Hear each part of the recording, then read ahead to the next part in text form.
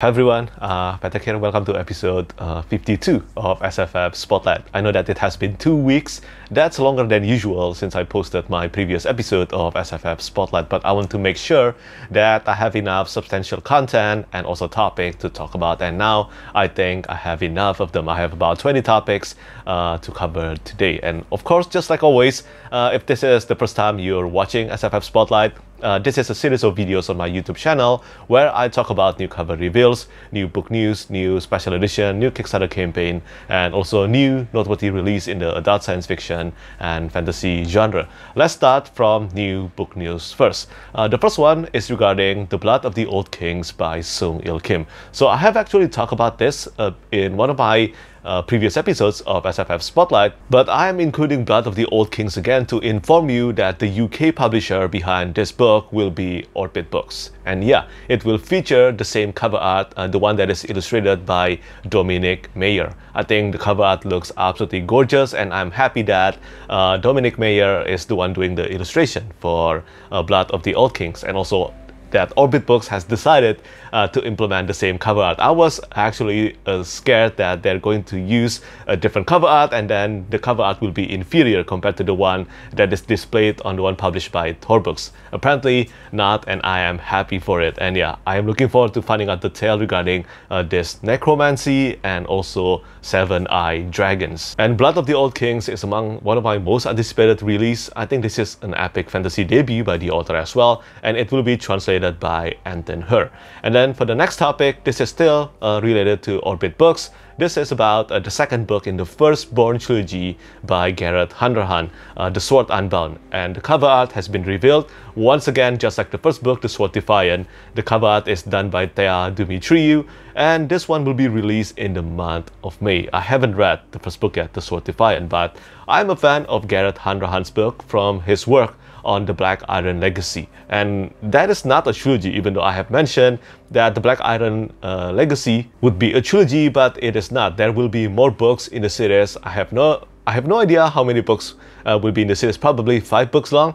But for now, I think Gareth Hanrahan is focusing on the first Firstborn trilogy. And yeah, I look forward to reading the first book uh, eventually. I have no idea when, hopefully as soon uh, as I can. So that's it for the category of new book news. Now let's move on to TV show adaptation stuff. But for the first one, uh, this is still related again to Orbit Books uh, catalog. So this one is for How to Become the Dark Lord or Die Trying by Django Wexler. And just like the Sword Unbound, this one, this book will be released in the month of May. But the news in today's episode of SFF Spotlight will be regarding the already confirmed TV show adaptation of this book. How to Become the Dark Lord and Die Trying by Django Wexler. The adaptation of it is already in the works at Legendary Television and Adam Wingard, the director behind Godzilla vs. Kong and also the upcoming Godzilla X Kong The New Empire is developing it. Just like always, every time a book is optioned for an adaptation, we can we can only keep our fingers crossed that it will uh, actually happen. I mean, for example, uh, Dark Matter by Blake Crouch. I have heard about uh, a confirmation of the TV show adaptation since 2016, and it is only now, it is only this year that it is happening. So that's eight years since the confirmation of Dark Matter. But I hope everything will goes well for this adaptation of How to Become the Dark Lord and Die Trying. I have read plenty of books by Django, Django Wexler, I think six books now, and I have enjoyed uh, pretty much all of them. And on with to the next topic, this is regarding A Knight of the Seven Kingdoms, the Hedge Knight. There is not uh, too many news on this one, only that I think it is confirmed that the first episode might premiere in late 2025. So yeah, it is still quite a while before this one premieres. As for the book, I really enjoyed reading A Knight of the Seven Kingdoms. I think it is a great prequel novel to A Song of Ice and Fire, to the main books in A Song of Ice and Fire. If you haven't read that yet, I highly recommend it. And then Finally, for the last one, before we move on to talk about a Kickstarter campaign and also special editions, this is regarding the manga Naruto, Naruto by Masashi Kishimoto, just after I started doing another reread of the manga, and then apparently it has been confirmed there's a live live adaptation of it happening, being directed by the director behind uh, Shang-Chi. But honestly speaking, when it comes to the matter of manga or anime adaptation, I pretty much have close to zero faith that it will work uh, well. I'm sorry, but that's just the way I work with a TV show adaptation of a manga. I think most of the time, well, pretty much all the time, the manga or the anime will always be better than the live show adaptation. And now we move on to the next section of SFF Spotlight. Time to talk about Kickstarter campaigns. And guess what? Today, I have only two Kickstarter campaigns to spotlight. I know that sounds like a miracle, right? Especially because every time I talk about Kickstarter campaigns, there is always so many of them to spotlight. But in today's episode, I have only two to spotlight. And the first one is pretty much just an apology uh, from me regarding Dawn of the Void by Phil Tucker. So I have mentioned in my previous two episodes that Dawn of the Void Omnibus Edition is coming in the 15th of February, but I don't know, I haven't heard back from Phil Tucker about this, and until now, the Kickstarter campaign hasn't gone live yet, and I've I have been getting messages about it, and I'm sorry for that. I really don't know what's going on. I have messaged Phil Tucker about it, but for now, uh, the Kickstarter campaign uh, is still still not live yet. Hopefully, that will uh, launch uh, next week. Who knows? Maybe that that might happen. I am going to assume that Phil Tucker is currently busy handling all the images and also the graphic design behind the website for the Kickstarter campaign of Dawn of the Void Deluxe Omnibus Edition. But moving on to the next and last Kickstarter campaign to spotlight today, this is about uh, Seeds of War and also Thorns of War by Joao F. Silva. And yeah, there will be a hardcover deluxe edition of the Smoke Smith series, a great indie fantasy series well, I haven't read it, but I heard so many great things about it, and I would try my best to read this series uh, within this year. But yeah, there will be a Kickstarter campaign of the deluxe hardcover edition coming in the 1st of March. The Kickstarter campaign will goes live on the 1st of March, and the books will contain interior illustrations by plenty of artists such as uh, this one. The cover to the Thorns of Wardo is again done by Miblart and then for those of you who don't know, this is a series with smoke magic, meddling gods and unique mystical beasts. I look forward to the launch of the Kickstarter campaign and of course more importantly, I look forward to reading this series for the first time. And then that's it. That's it for the topic of Kickstarter campaigns. But for the next two, they are still kinda related to uh, Kickstarter campaign products. So for the next one, this is about uh, The Sword of Kaigen. Yeah, The Sword of Kaigen by M.L. Wang is getting a new hardcover edition from Wraithmarked. There will be more details to come, but I think Wraithmarked has confirmed this will be a completely different kind of edition uh, compared to the Sword of Kaigen limited edition that you can see over here that I own. As a huge fan of the Sword of Kaigen, I am obviously excited about a new special edition of the Sword of Kaigen. And this time, uh, the artist will be Tom Gillison, an absolutely incredible artist. I highly recommend you to check out his portfolio and then you can probably imagine the kind of amazing artwork that will appear on the front cover of the Sword of Kaigen. I am excited about it and once I hear more details about this, I will let you know. I know that many of you uh, have been contacting me about news regarding Sword of Kaigen hardcover or maybe will there be another reprint of the limited edition? But I think this is what Wraithmarked has to offer. I'm sure that Wraithmarked kept getting even more questions compared to me regarding a new stock of their edition of the Sword of Kaigen.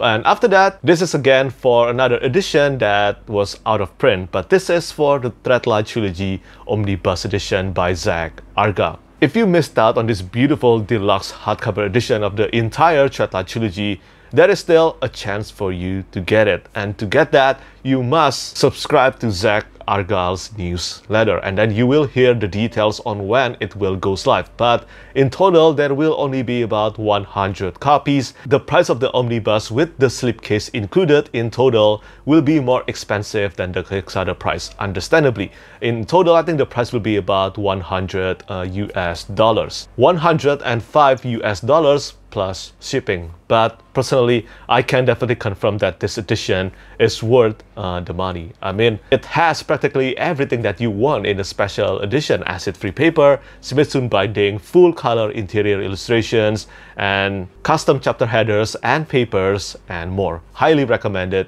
And I'm in the middle of reading the trilogy right now using this beautiful edition. So yeah, if you missed out on it, make sure to subscribe to Zack Argyle's uh, newsletter and do not miss out on it. I think this is the last time you can acquire a copy of the Threadlight Deluxe Omnibus Edition. So that's another section about uh, Kickstarter campaigns. Now let's move on to talk about special editions. And I have a lot of things to spotlight uh, today on this topic. Let's start with the new interior artworks reveal of the Curious King edition of the fifth season by N.K. Jemisin. And yeah, this is again illustrated by John Anthony Di Giovanni, and I think this edition uh, as Curious King himself said, is looking to be even better compared to their standard edition of the Blade itself, which is a very high praise. The Blade itself Curious King edition is currently the best special edition that I own, and to think Curious King is confident saying that their addition of the fifth season is even better than the Blade itself is quite mind-blowing to me. So I'm excited to see how it will all turn out. And then after that, this is about Jade City Subterranean Press edition. Uh, this one is a bit brief, but Subterranean Press has finally confirmed, and this is the great news for those of us who want to get a copy of Jade City, but Subterranean Press has confirmed there will be more than two interior illustrations inside Jade City. I think in total, on top of the new cover art and also new fully colored and papers, in total there will be another four interior illustrations at least. At, at least that's what I am assuming based on what I heard. But this is good news considering that there is a good chance that this book will be priced at 200 US dollars. To have a special limited edition of Jade or the Greenbone Saga at that kind of price with only two interior illustrations would be a huge disservice uh, to the Greenbone Saga in my opinion because there are so many scenes that could be illustrated inside this trilogy. So yeah, this is great news for all of us who want to get a copy of Jade City Subterranean Press edition, even though it will be a bloodbath trying to acquire a copy. And the next special edition I want to spotlight, this is about Chronicles of the Black Company by Glen Cook, uh, published by Midworld Press. So Midworld Press recently revealed the cover art to the second book, The Shadows Linger, which in my opinion is the best book in the Chronicles of the Black Company. This one has a cover art and probably interior illustrations as well, by Didier Graffet, an absolutely amazing artist. Didier Graffet has done a lot of incredible fantasy and sci-fi artworks in foreign uh, editions, non-US or non-UK uh, cover art, and they are all just stunning, including the cover art to The Shadows Linger. Now, Midworld Press uh, although they don't ship to my place, I do think their pricing is really good for a very high quality limited edition. I have been eyeing their edition of the Black Tongue Thief, but again, I cannot own it because they don't ship to my place. But based on what I've seen online, it seems like for $100 or $90 and the US dollars, it seems like their quality is almost or probably on par to Grim Oak Press uh, edition. So yeah, that is an incredible stuff at an affordable, relatively affordable price. And speaking of Grim Oak Press, the next few topics, all of them are related to Grim Oak Press. The first one, before I talk about what they announced for their second quarter catalog, which is insane, absolutely insane. But first, let's talk about this. Uh, the Desert Spear by Peter V. Brett uh, with an illustration by Alan Williams.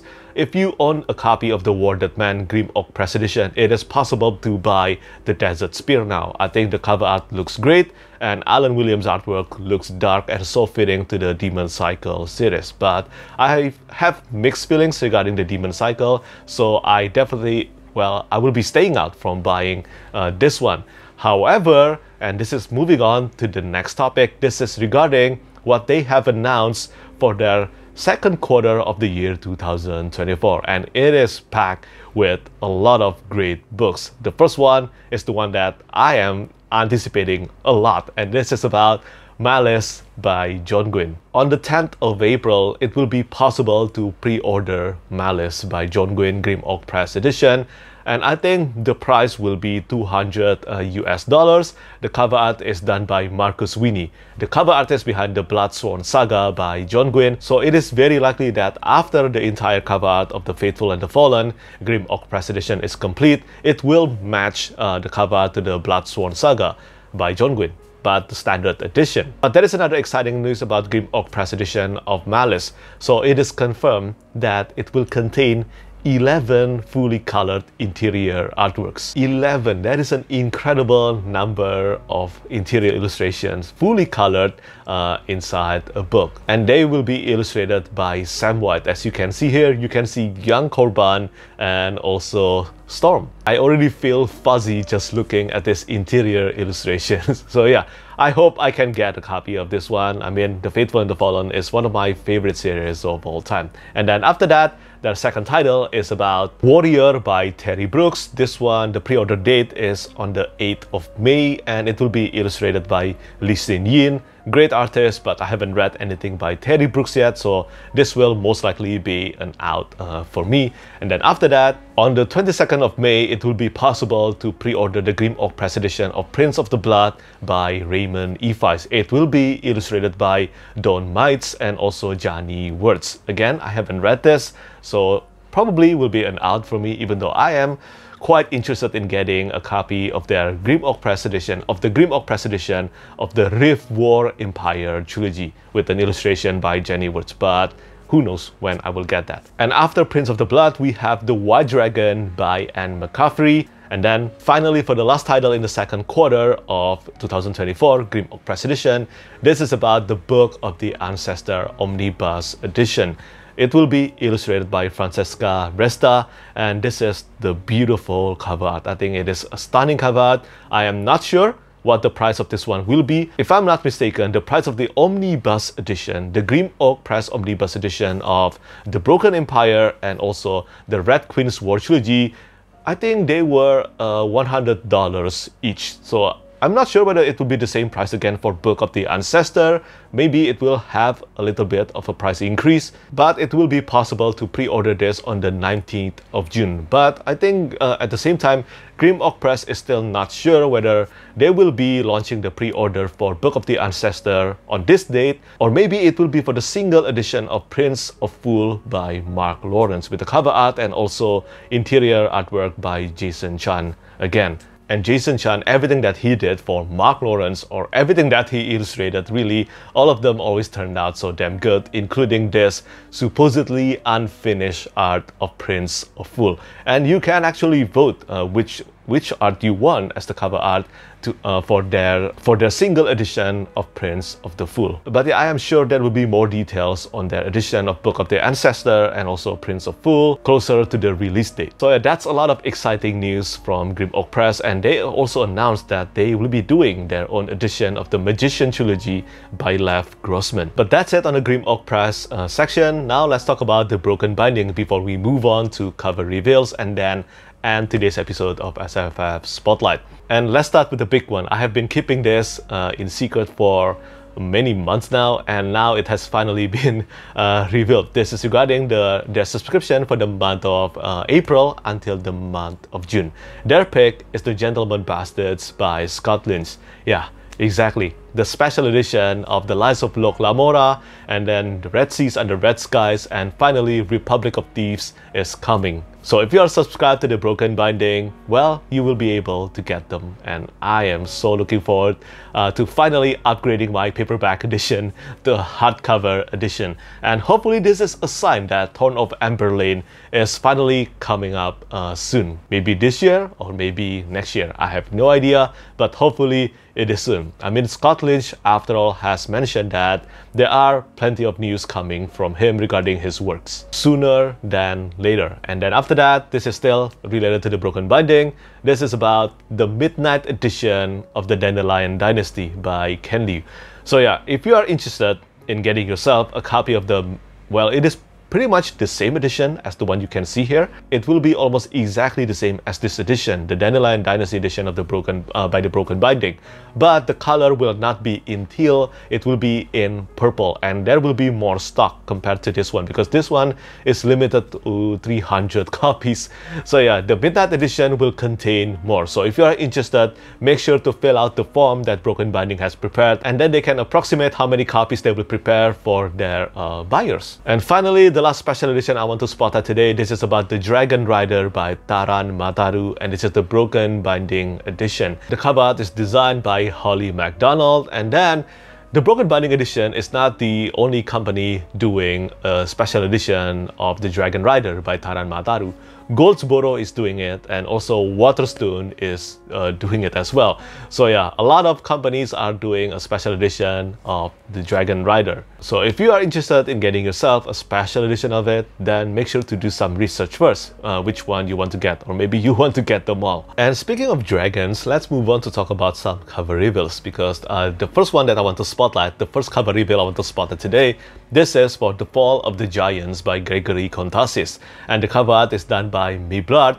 And take a look at that. Isn't this such an epic cover art? And yeah, it features this I don't know who, this knight fighting against this massive dragon. It kind of reminded me of the cover art to The Shadow of the Gods by John Gwynne, and I like it. I haven't read the series yet. This is a Greek-inspired fantasy series, and I hope I will like it by the time I read it. And unlike the first book in the series, this one, The Fall of the Giants, will contain one interior illustrations by Omer Burakonal. And I think it looks beautiful. And after that, let's move on to the next one. This is about a new release by one of the most productive authors of all time, even more than Brandon Sanderson. Yes, I said that. This is about pirateaba. Again, pirateaba has revealed a new cover to the second book in the Singers of Terandria uh, series. This is the cover art to Hansong, and the cover art is done by Steven Seaton. I think it looks beautiful. I haven't read the series yet. I know that this series do take place in the same world as The Wandering Inn, which I will start uh, within this year, hopefully in April or in May. But beyond that, I don't know anything else about this. I know that pirateaba, I think, has mentioned this is also a good starting point uh, to their work. And finally, the last cover reveal I want to spotlight today, this is for Titanica by Alex Robbins, an ancient Greek-inspired fantasy series, and the cover art is done by Felix Ortiz. If you are not familiar with the series, The Ruin Gods is an ancient Greek-inspired fantasy where human city-states are thrust into conflict with a whole host of different mythological creatures and eventually taking up the gods themselves. I did the cover reveal to this one, but I don't actually own the books, so no idea when I will get around to this. I still own another series by Alex Robbins that I need to start and finish uh, first. And finally, moving on to the last section of today's episode of SFF Spotlight. This is about noteworthy release, and I have one release to spotlight. This is about Demon's Rage by Ben Galley and also David uh, Estes, or David Estes, the author behind uh, the popular Fate Mark series, which I still need to read as well, including Ben Galley's books. I can't believe that I haven't I haven't read anything by Ben Galley yet. I hope that I can fix that uh, within this year. But the cover to this one, Demon, Demon's Rage, is again just like the first book, illustrated by Mansik Young, and I think it looks uh, beautiful and fierce. Hopefully the book will be as good as the cover art. And that's pretty much it for today's episode of SFF Spotlight, but I want to mention uh, one thing. Consider this a bonus, uh, a bonus news. This is about uh, Elden Ring Shadow of the Erdtree. I've been super excited about this upcoming uh, DLC. And you know, after watching the trailer, in the middle of watching the trailer, I was already so hyped and I keep on watching uh, the new trailer. And yeah, this will be out on the 21st of June. If you have played Elden Ring or From Software games, do let me know what you think about uh, the news regarding the DLC Shadow of the Erdtree. Personally, this is definitely my most anticipated game uh, this year. And yeah, now that's really it for today's episode of SFF Spotlight. Just like always, do let me know what you think about the news that I spotlighted in the comment section down below. And as always, thank you so much for watching and thank you for your support. Bye bye. Lastly, I want to say thank you so much once again to all my patrons who keep on supporting me.